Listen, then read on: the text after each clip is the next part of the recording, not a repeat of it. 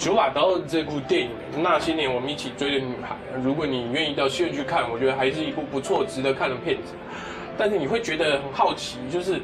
为什么当年九把刀一直没有告白，导致后来没有办法真的一起交往？那也许这个遗憾是每个人内心都有的一个遗憾，但是到底是怎么一回事？我觉得你进戏院看了之后，应该要对九把刀好好提这个问题：为什么当年软脚不敢？告白，结果现在把它拍成电影，还找了很正的妹跟很帅的人来演他，我对这一点比较有意见，但还不错。以国片整体复苏的角度来看，九把刀也算扮演了一个推手，所以，如果你有空的话，应该要去戏院回忆一下你年少轻狂、不敢告白的那个深色年代，你应该会从里面获得不少的感动。